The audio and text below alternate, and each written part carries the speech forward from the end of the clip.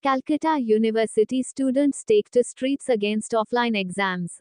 Calcutta University Friday announced all upcoming semester exams will be held offline, reported PTI. Fresh protests erupted on Monday, June 6 in Kolkata as university students came to the streets to demand online exams at College Street.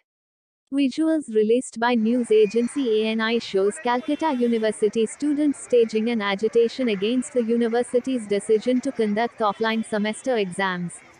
This comes after the Calcutta University Friday announced all upcoming semester exams will be held offline, refusing to buckle to demands by a section of agitating undergraduate students who want online tests, which were the norm during the two years when the COVID 19 pandemic raged through the country.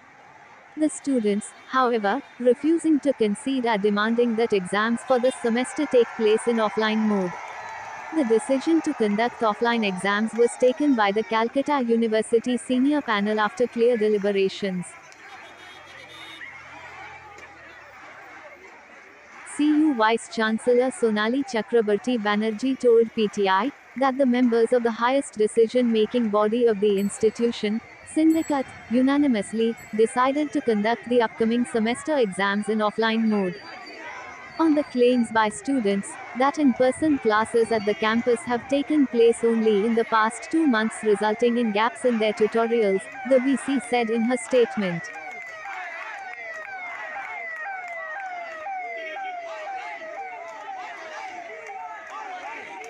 Syndicate took the decision and also decided that all the principals of affiliated colleges will be well advised to take steps to arrange special classes to complete courses immediately according to the syllabi, if not already done.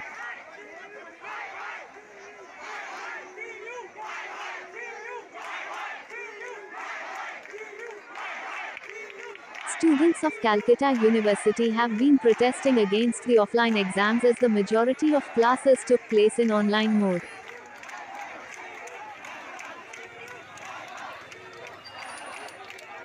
Around 200 students recently demonstrated outside the university's main campus at College Street, claiming that two months of classroom teaching was not enough for finishing the syllabus of a six month semester and holding offline examinations.